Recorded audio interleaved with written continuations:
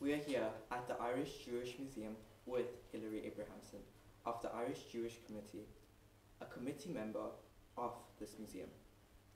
Ms. Abrahamson, what does the Jewish Museum tell us about past Jewish life? Ooh. Well, in this museum, uh, which was originally a synagogue, downstairs you have the whole social history of when Jews came to Ireland and what they did. And then upstairs we have the synagogue. The first, the first mention of anything Jewish is in 1079. There's something called the Annals of Inishfallen. And Inishfallen is an island off the coast of Kerry.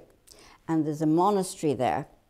And in the Annals it says, 1079, five Jews came over the sea bearing gifts for King Turlach O'Brien.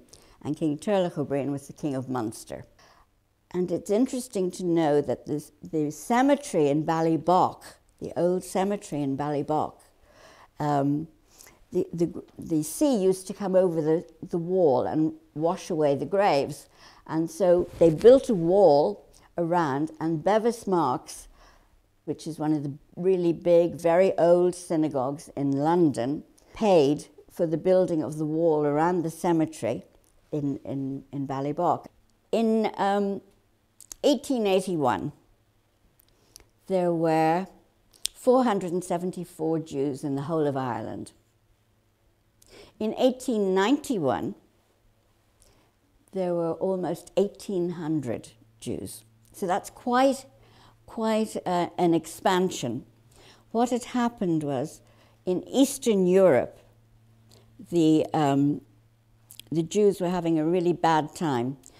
Um, boys from the age of 12 could be conscripted into the Russian army. So many people would make their child lame, blind, damage an arm, just to keep them from having to go into the army. Because if you went into the army, it wasn't for five or 10 years, it was for 20 or 30 years.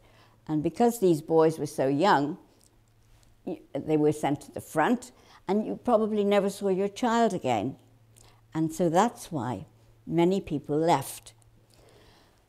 Um, the people who were here in the 1800s were mainly from France, Austro-Hungary, Germany, um, some from England as well.